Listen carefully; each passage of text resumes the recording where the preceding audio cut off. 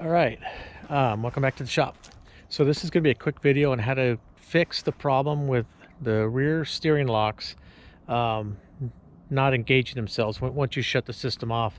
Um, is just to be a quick video. Sorry if I'm not doing too good on it. I got a kind of bad cold at Thanksgiving and I haven't been doing too much today. But I wanted to come out and do this video because um, it came up on the Growler forum about these and um, I just want to show you guys how to change them. Um, there's a pretty simple way to change them. Um, instead of taking the whole unit off, I've kind of come up with a way where you can change them pretty easily. Um, you know, not too bad as long as you can handle a couple wrenches and not even that. Actually, if you can handle a screwdriver and uh, and you know you got two hands. So, anyways, let me show you how these are retained. So on the end of this shock, there's two cylinders. I'll show you where they go in a second. Um, I just want to start off with this. There's, there's some notches here. We can get a screwdriver, like a foothold with a screwdriver.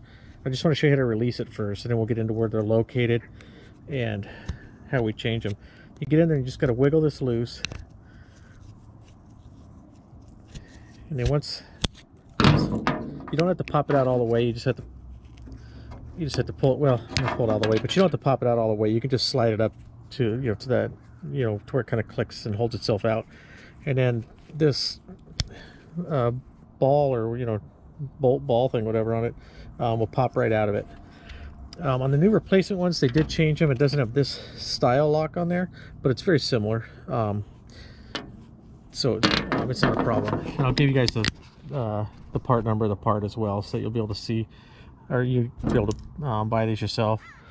Let me go over to this growler here. I haven't started working on this one yet but um, so the steering locks I'm talking about this one's easy to show you. It doesn't have the rear pan, so it's easy to show you. But here's the locks right here. Here's where they weld them.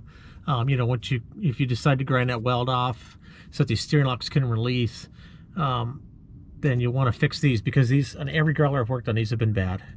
Um, so you grind that off and then it, it allows this, um, when you go to use the rear steering to, um, it has, has an air ram right up here, uses compressed air. So you have, to, you have to have air built up in your system. Have it in reverse or first, turn the system on, and then it'll this ram will, re, will retract with, with compressed air and it'll lift these two locks up so that this uh, steering can slide side to side when you go to steer it. And then when you shut it off or if you go out of you know take it out of first gear or take it out of reverse gear for any reason that you shouldn't be using it or you turn it off um, it releases the air out of this ram. And then these two uh, gas pressure rams um, they're 60 pounds each, so it's 120 pounds of force on there.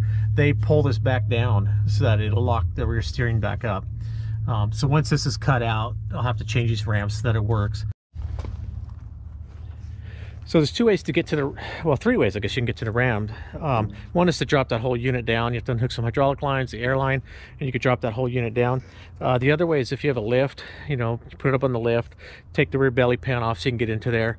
Um, I'm not bothering to show you on the lift because it, most guys don't have a lift. Um, you guys can do this in your garage or your shop or whatever. Um, but anyways, you take and lift the rear deck open. This one's not bolted on, so I don't have to worry about lifting it up. Down here, you undo this uh, screw if it has it. You lift this hatch up. And right down here are the two rams. You'll see that there's there's three uh, uh, things on here. This this third top one here is just a switch. That's the indicator switch to tell the system that um, that the system, whether it's locked or not. So to change it, and I've got a pretty easy way to do it, because these locks are kind of hard to get to on the back side, on the barrel end of the ram. So what I do, if I can get under this one, okay, so we get under there, we pry that up like that, and just get the screwdriver behind it, just pop it off. So once you pop this off the trunnion ball, you just grab the rod, the barrel into the ram, and you just unscrew it. So you're basically, let me show you on this one. So this this is the anchor on the end you can't really get to. Um, so once you get this end off, you just want to grab the barrel and you just unscrew it. And you can unscrew it right off and just leave this eye. This will still be on the trunnion ball. It'll still be on there. And then when you get your new ram, uh, just take the existing one off, the one that came, the new one that came with it. You can reach in there. It's not too hard to reach in there to grab this. Uh, it's just hard when you got to fiddle with all this stuff. Um, but then you take and you just uh, get this started. Just make sure you don't cross thread it. Make sure it spins easy. You screw it back on. And that's what you're going to do inside uh, this hole here. You're going to do that inside of here. It's not that hard. It's just really hard for me to do this with the camera to show you because you have to reach down in here and just kind of hold that that that tail piece up, you know, to hold that socket up. And you'll just screw this right back on. And then you can use the new one of these that came on it, or you can use your existing one. You can change it. But you just snap it back on the ball. And then if you're going to use this existing one, you know, if you put the, the old one onto the new ram, and then you just push that in there and it locks it right on. Um, or if you use the new one, just it's pretty simple. You can see how they lock on. They just snap on. And you change this one, and you change this one back here. And then go ahead and test your system, and you'll see that it, uh, it locks itself once you're done. Here's the old uh, on the end, and and here's the new one. So the old one had that part in the center that you have to uh, you know slide out. You have to get a screwdriver behind it and slide it out to get it off to get this to pop off the trunnion ball. And the new one just has this uh, spring band on here, and you just put a screwdriver in this slot right here and pry this out to get it to come off. And it doesn't come with the new ball, but the I mean, if your old ball is broken, I think you can buy the balls, but um, you just leave the balls on there. You don't need to take them off to change them. You just pull this off and pop it off the ball. It's the easiest way. And then if you look at the part number, uh, the old one is GG540, uh, and then the new one's GGN40. And I, I, I don't know if they just changed their numbers or what it is, but when I searched for them on their site, I put in this number and it came up with this as being the replacement for it.